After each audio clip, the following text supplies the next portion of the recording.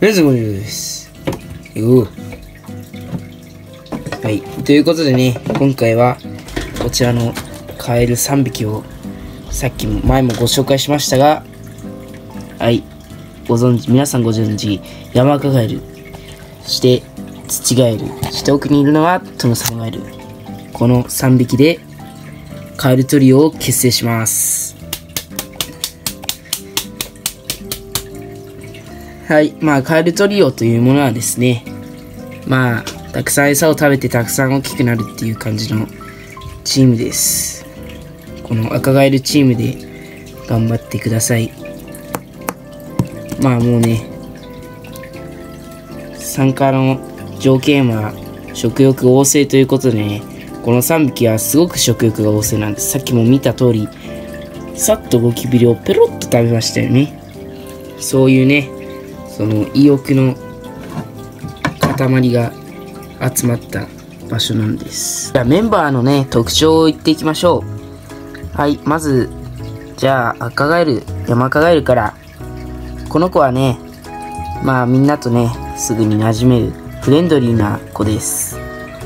あのー、この C2、一番 C2 なのがこの子なんですけど、まあね、すごく優しく受け入れてくれました。すごくおっとりした性格ですがやっぱり食欲はね誰にも負けない。いい子です。はい次。土ガエルこの子が一番遅く来た子です。まあそんなに自分から行くっていうことは少ないんですがまあ食欲の面に関してはすごいでねあのまあ引っ込み思案ですがすごく。はいそして最後。もうねこっちのねところにね餌があるんですよ。それをもう見つめてますね。殿様ガエルくんは。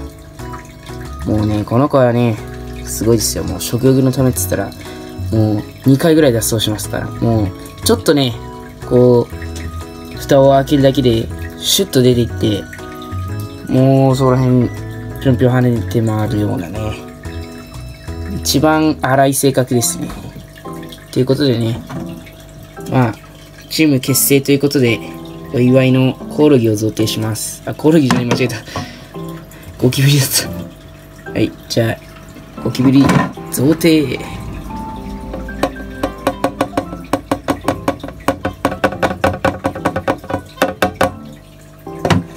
すごいですね。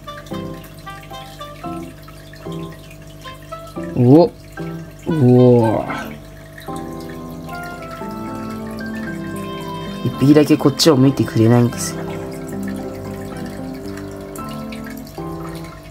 いやー、こっち向いてくれたら、最高だったなこれ。サムネにめっちゃいいじゃん、これ。やば。ほらほら、どこ行った？いいチーム結成だ。来た来た来た来た。来た来た来た。はい。ということでね、これからもカエルトリオをよろしくお願いします。はい。この動画良かったらチャンネル登録、高評価ぜひぜひよろしくお願いします。また、えー、カエルトリオの動画を見たかったら、ぜひぜひね、見てください。あげますんで、また、活動してる時に、ぜひぜひ、また、寄ってきてください。ということで、またバイバイ。千葉県の伝統的工芸品はなんて書いてあるかわからない厨房の棒に欧州の欧、あ州って書いてるやつ